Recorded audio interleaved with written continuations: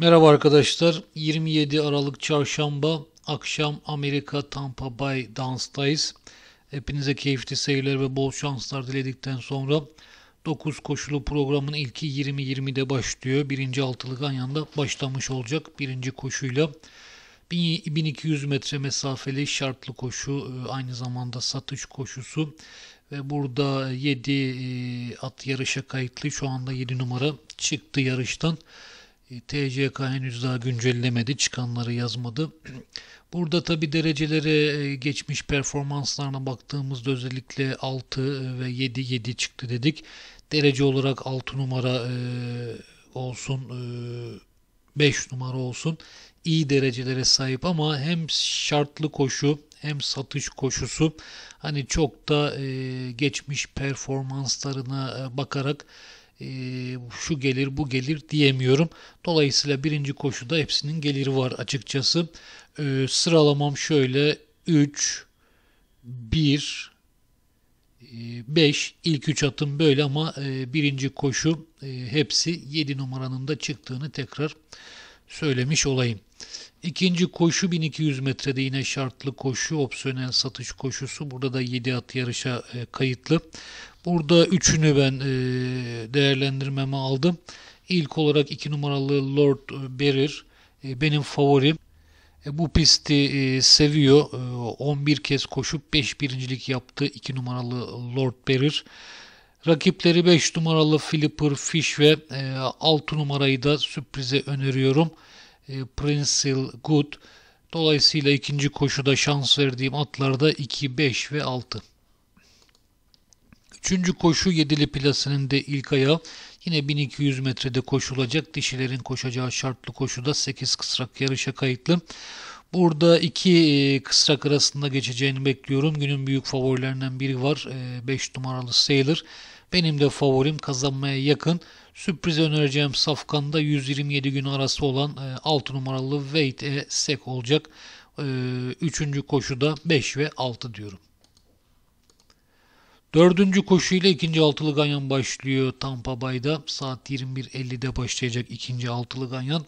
Yine 1200 metrede koşulacak koşuda 8 atı izleyeceğiz. Burada da e, 4 atı değerlendirmeme aldım. İlk olarak bir numaralı e, Fuguretti. Bu pistte daha zorlu gruplarda koştu e, geçen sene. E, yine bugün için kazanmaya yakın bir numara. Rakipleri 800 numaralı e, Buff Hello ki zaten jockey olarak baktığımızda da e, ikisi baş jockey Sam e, Camoccio ve bir numaranın jokeyi e, kazanma oranları bu pistte yüksek jokeyler. E, 1-8 sonra 5 numaralı e, Dead Dead Safek Jack e, ve 4 e, numaralı Make It Big buranın sürprizini yapabilir. Dördüncü koşu e, yani ikinci altılı ganyan ilk ayağında 1-8-5-4 şans verdiğim atlar. Beşinci koşuya geldiğimizde iki yaşlı tayların şartlı koşusu 1600 metre çim pistte 10 tay birincilik mücadelesi verecek. Zorlu bir koşu. Hepsinin geliri var demek abartılı olmaz. İki tayla ben geçmeye çalışacağım e, burayı. İlki 7 numaralı Deep Strike. Son yarışını kazanan Deep Strike. Bugün içinde kazanmaya yakındır bana göre. İyi de bir orijine sahip 7 numara. Rakip olarak da tabii 10 numaralı Uncle Kenny aslında baktığımızda koşularına e, daha zorlu gruplarda koştu. Hep yakın ara bitirdi. Yüksek ikramiyeli koşular. E, ama binicisi ki e, bu biniciyle 4-5 kez koştu. Apranti muhtemelen de apranti diyebiliyorum. Kazanma oranı düşük. Yani acemi bir apranti.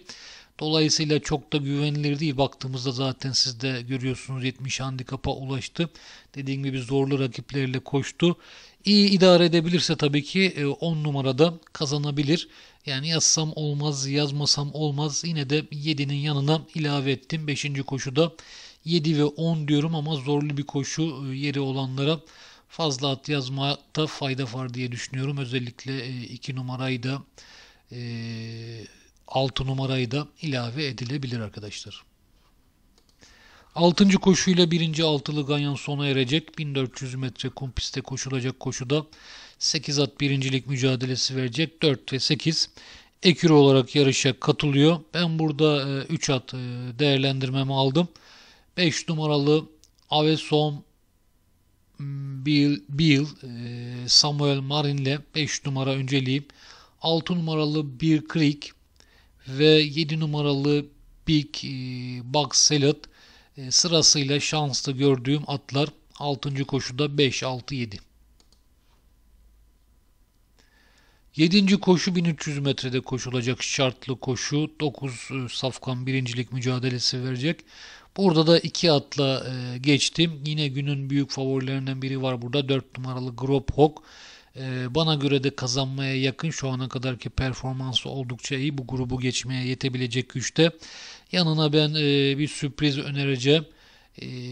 O da 3 numaralı Moonstrike. O da zorlu rakipleriyle koştu. Bu grupta kazanıp moral bulabilir ki baktığımda oldukça da gerilerde bir safkan yeri olanları öneriyorum. Ben şablonuma e, ilave ettim.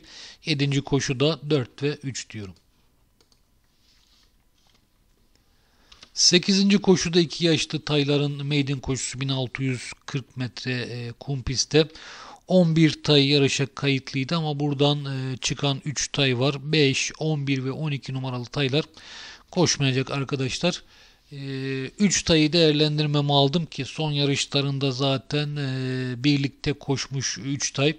2, 10 ve 9. Burada 9 numara 3. oldu, 10 numara 2. ve 2 numara büyük favoriydi. Beşinci oldu o yarışta. Biraz şanssızlıklar da yaşadı. Bugün için kazanmaya yakın 2 numaralı Three White Soldier. 9 numaralı My Noble Knight yarışını çok beğendim. Üçüncü olsa da muhakkak yazalım derim. 10 numaralı Skyline. Yine bu üçü arasında geçeceğini düşünüyorum yarışın. 8. Ee, koşudaki sıralamam 2, 9 ve 10.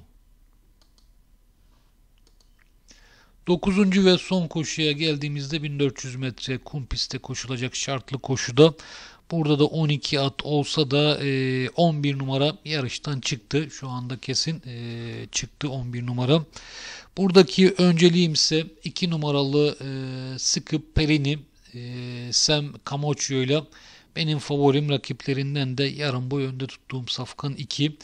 Rakipleri 10 numaralı True Believe 4 numaralı Grand Rock, 6 numaralı Heston ve 1 numaralı Kittens Klov olacaktır ikiye rakip. Son koşudaki sıralamamda 2, 10, 4, 6 ve 1 oldu arkadaşlar. Değerlendirmelerim de bitti. Tekrardan bol şanslar diliyorum herkese. Görüşmek üzere.